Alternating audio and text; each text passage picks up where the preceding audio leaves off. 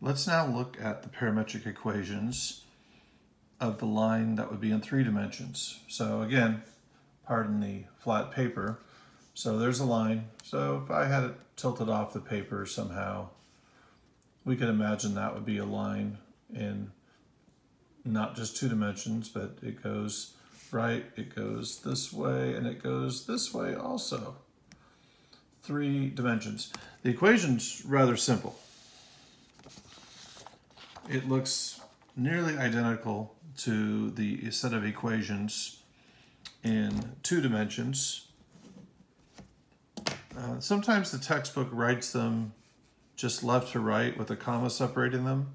I do not like to do that. I want you to see clearly that there is a parameter, a fourth variable, x, y, z, and for those of you that like science fiction, maybe time is the fourth dimension in this case.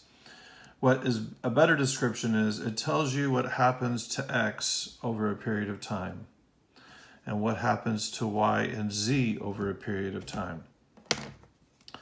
And then this would be basically a vector. You know, our direction, which is a vector in this case, is delta x and delta y and delta z.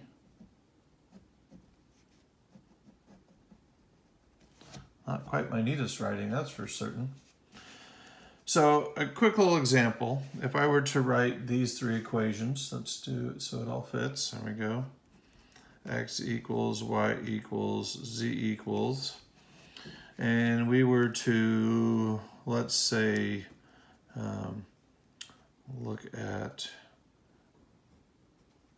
10 plus 4t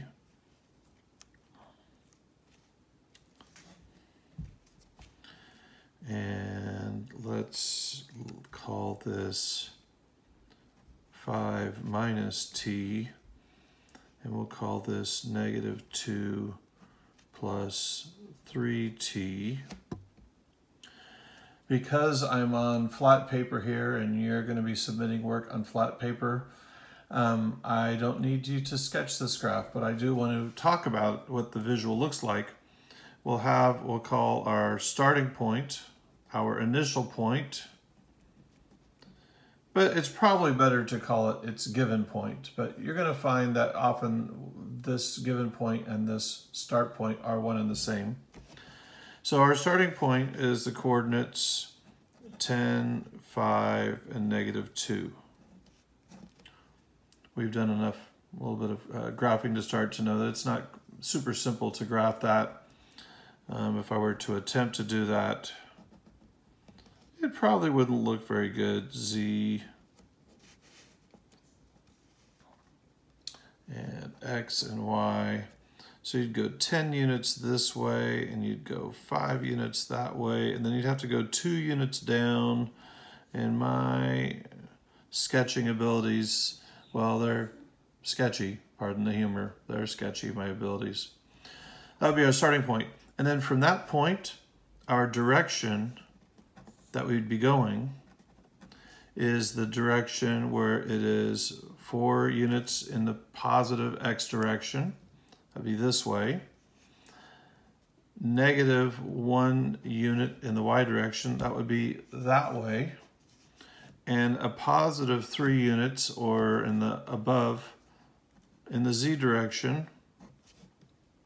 So the line would be going, see, four lines would be kind of going that way. If you were sitting here with me, right at my paper, and I held my pen the correct way, you might almost believe that but it might take a little bit of extra imagination to do better than that now. So, since I'm not going to make you graph it on an assignment or an assessment, um, we're mostly just holding on to this knowledge for some other pieces that are to come, some of them very soon. Let's look at another sample.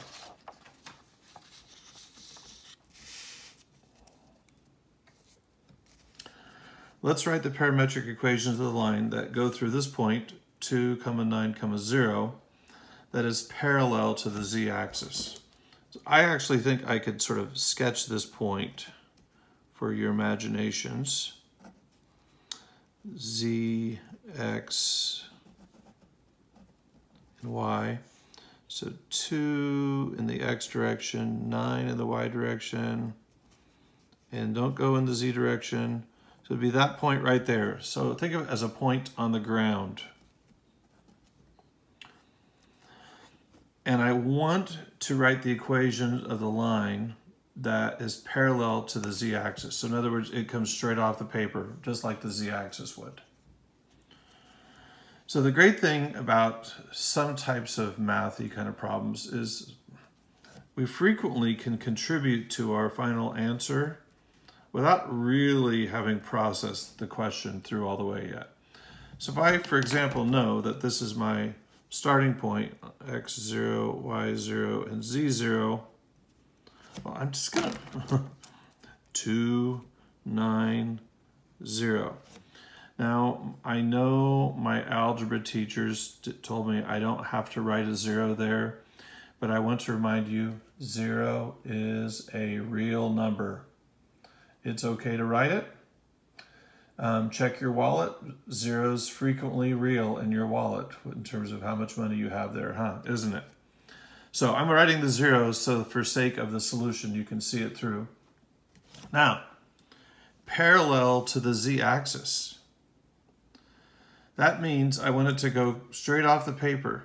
I don't want it to bend this way, and I don't want it to bend this way.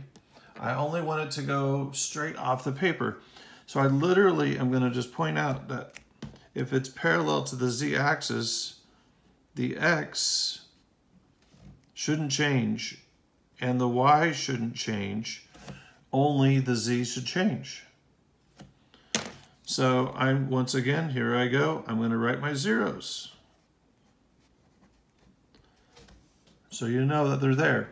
If you're a computer science person, you put the zero in the cell. You need to have a, that starting point. The, the cell's going to have a zero recorded in there. Now, parallel to the z-axis. Since I didn't specify a magnitude of the vector, I could put any number I wanted here as long as it's not zero. It has to go in the z direction. The easiest thing to do would be to maybe to put a one there. Um, delta z could easily be 1, but if you wrote it as 2 or negative, uh, you know, 8, those would be okay also. As long as it was in the direction of z, it would be correct. It would be correct. So for this problem, I could leave my solution this way, or I could simplify my three equations.